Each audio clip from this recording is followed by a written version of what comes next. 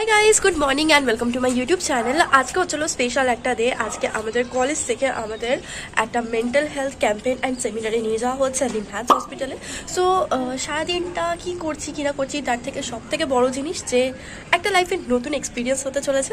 সব কিছু আমি রেকর্ড করব। তো চলো উইদাউট এনি ফার্দার ডু আজকে পুরো দিনটাকে এক্সপ্লোর করা যাক। অ্যান্ড আই হোপ কি তোমাদের আজকের এই ব্লগটা দেখতে খুব ভালো লাগবে। তো চলো, এখন ব্লগটাকে স্টার্ট করি। আগের দিনের ব্লগটা এন্ড করার সময় তোমরা দেখেছিলে যে আমার শরীরের অবস্থা কি ছিল। তখন বলেছিলাম যে হালকা গলাটা ফুসফুস করছে সামহাও হয়ে যাবে। তো পরের দিন থেকে গলা ব্যথা স্টার্ট হয়। তারপরের দিনে কথা বলতে পারছিলাম না আমি। ক্লাসিকে সময় আমার মানে মজা ওড়াচ্ছিল বলতে গেলে। আর নেক্সট দিন হচ্ছে হলো জ্বর সর্দি মানে খুব খারাপ অবস্থা ছিল। আমি তো ভেবেছিলাম আজকে আমি যেতে পারব না বাট সামহাও আমি ভেপার নিয়ে নিয়ে রিকভার হয়েছি। সো ইয়া দেখা যাক শরীর কতটা সাথ দেয়। নিভাস কিন্তু এখান থেকে অনেকটাই দূর।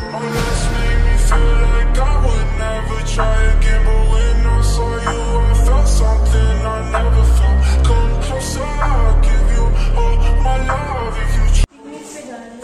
হয়ে গেছে তোর বানানো? এত ঝোল ঝোল রাখিস না আরেকটু ফুটা। এ হয়ে যাবে। না আরেকটু ফুটা তাহলে শক্ত শক্ত হবে নাহলে খারাপ হয়ে যাবে। দু মিনিট আর ফুটিয়ে না আমি রেডি হইনি ততক্ষণে বাকিটা রেডি আমি। আমার বেডের এই অবস্থা। যাই হোক এটাকে এখন গুছিয়েই তারপরে যাব। আদারওয়াইজ মানে এসে না মাথা খারাপ হয়ে যাবে।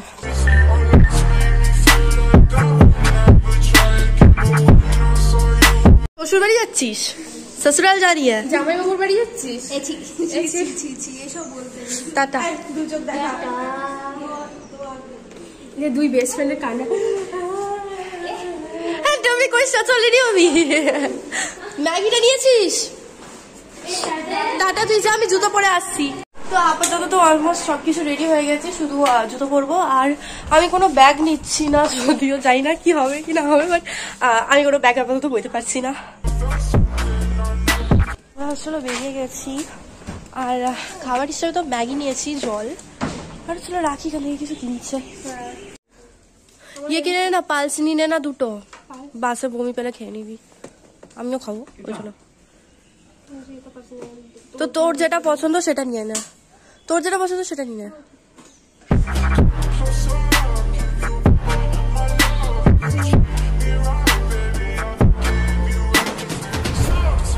টিফিন বক্সে রেখে জায়গা রাখতো।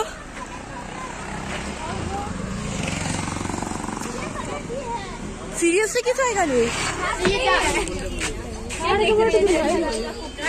থ্যাংক ইউ ভাই তুই তো ছিলি বেশ, লুকিয়ে ভিনদেশ ইচ্ছে নিয়ে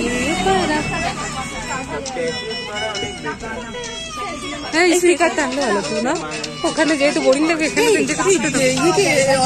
একদিকে যাবে তোকে তো একরা যাবে স্পিকার বললে তো इधर आओ थोड़ा सा आगे आगे আরে আরে ঠিক আছে নাকি হাত কেটে যাবে thank you bro tata bye bye কি করছিস চেঞ্জ করছিস কেন ঠিক আছে ঠিক আছে জানি চলছে এই এটা বহুত ছোটবেলার গান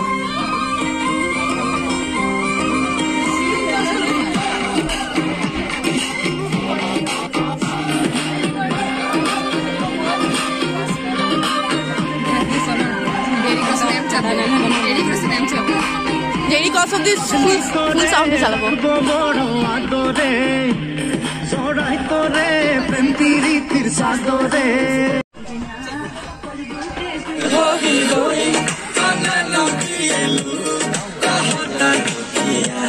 ನಶ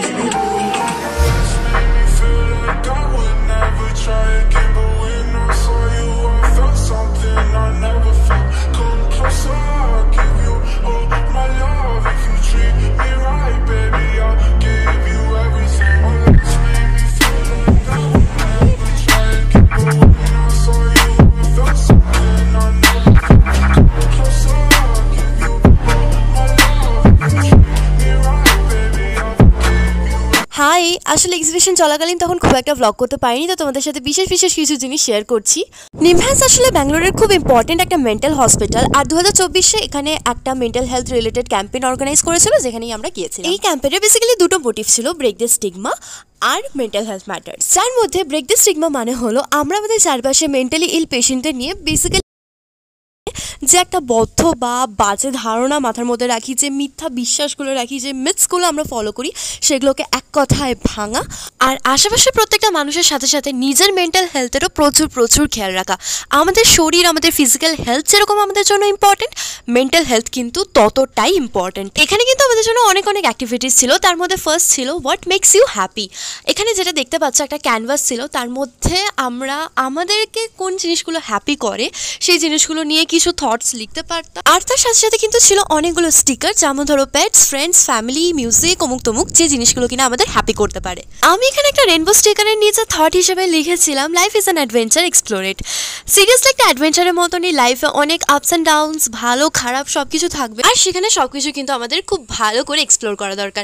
আর এই জন্যই আমার প্রত্যেকটা ভিডিও শুরুতে বলি, তো চলো আজকে দিনটাকে এক্সপ্লোর করা যাক।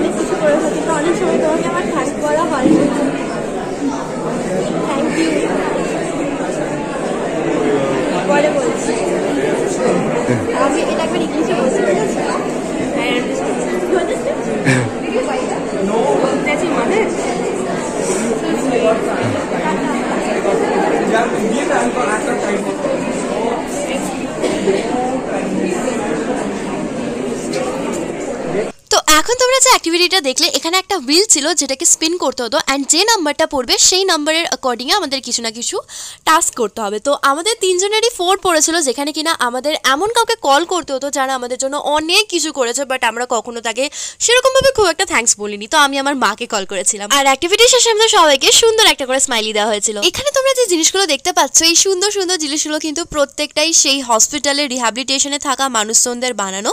তো এগুলো বিক্রি করে যে টাকাটা হবে, সেটা কিন্তু তাদেরকে দেওয়া হবে যাতে তারাও ফাইন্যান্সিয়ালি ইন্ডিপেন্ডেন্ট থাকতে পারে Like I would never try again, but when I saw you, I felt something I never felt. Come closer, I'll give you all Electrical impulses are less here. जिसका जवाब डॉलर सही रहेगा divide करेंगे ठीक है ये सही आंसर है दोनों को डिवाइड में ठीक है अभी क्यों हम बोलेगा उनको पच्चीस पॉइंट क्योंकि यहाँ पे जो electrical impulses are coming that are less for the depress person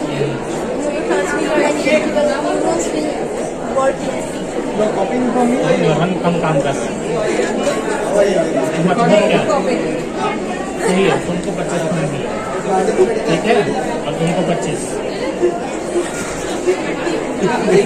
ठीक है? इसका फोर्टी फाइव हुआ है तुम्हारा पच्चीस है। लेकिन बताओ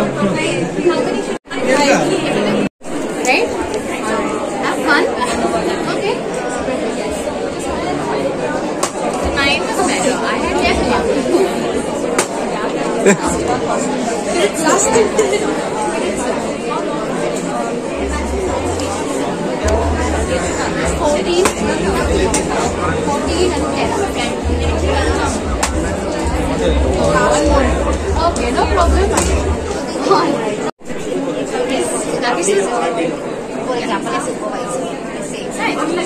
You wanna play the darts? Join us on that side. The line is over there.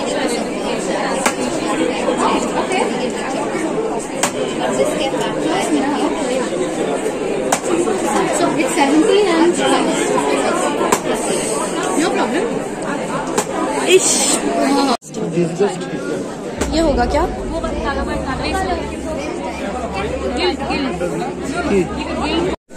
सया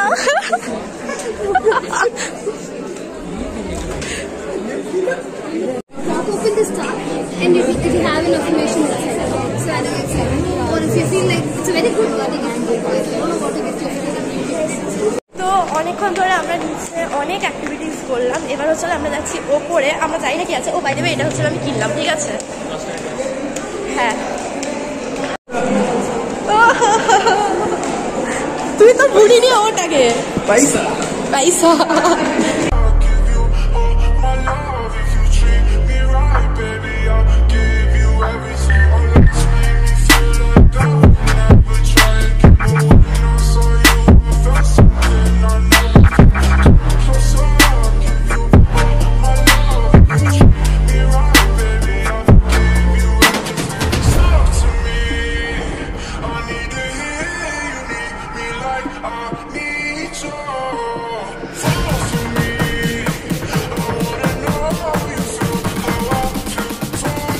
একটা অদ্ভুত কম্বিনেশন কুরকুরে সস আর ম্যাগি।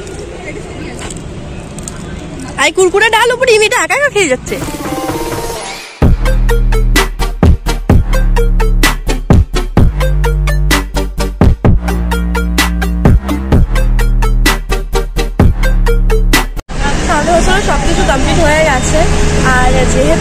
এখনও থেকে হস্টেল যেতে প্রায় দেড় ঘণ্টা লেগে যাবে। তার জন্য মানে বসে বসে জাস্ট এনার্জি সেভিংস করছি। আমার শরীর একটুও ভালো লাগছে না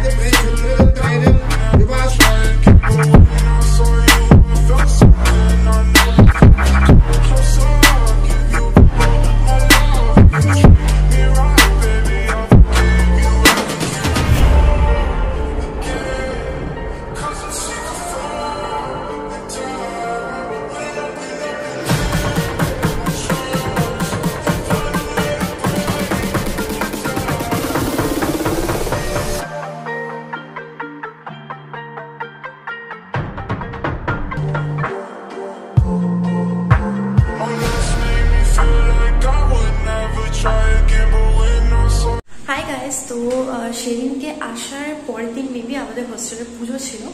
আর তারপর থেকে আমি আরও ব্লগ মানে কন্টিনিউ করতে পারিনি। তারপর আমি ডক্টর দেখাতে আমার শরীর এক সেকেন্ড তারপর আমার শরীর বলতে পারো মানে খারাপ চলছিল অনেক দিন ধরে, তো আমি ডক্টর দেখিয়েছি এখন আমি পুরোপুরি ফিট অ্যান্ড ফাইন আছি।